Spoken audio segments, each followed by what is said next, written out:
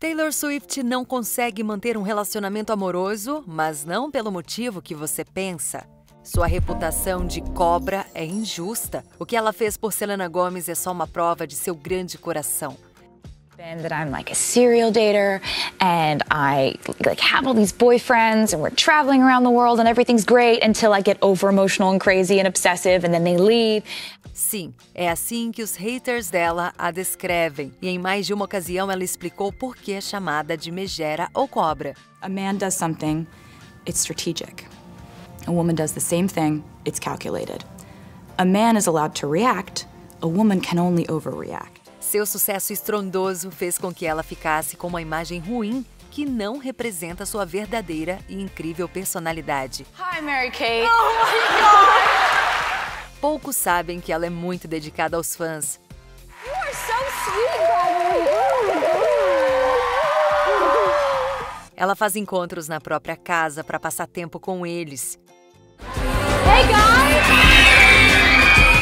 Taylor faz visitas a hospitais e até paga as contas médicas de alguns fãs. You tie up the nurses. You must be so strong. Ela ajudou aqueles que perderam o emprego por causa da pandemia e enviou milhares de dólares para que eles pudessem retomar suas vidas. Lamento a ansiedade que você sente por causa de suas finanças e o medo de perder seus tios. Espero que esse dinheiro ajude a pagar as contas sempre está ao lado de quem precisa dela. Quando Selena Gomez passou por um momento terrível, Taylor esteve ao seu lado. Sou grata por aqueles que me cercam. E esta mulher é uma das minhas favoritas. Amo nossa tradição e amo você. Taylor a apoiou quando foi criticada depois do polêmico término com Justin Bieber. E quando Selena foi diagnosticada com lupus, Taylor foi seu maior suporte. Mas essa não foi a única vez que Taylor esteve nessa situação. A pessoa mais importante de sua vida também precisou de ajuda. Estou triste em dizer que minha mãe foi diagnosticada com câncer.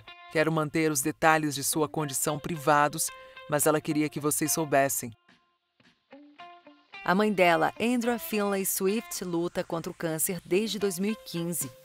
Taylor reduziu o número de shows para cuidar dela, um gesto que os fãs consideraram mais que admirável.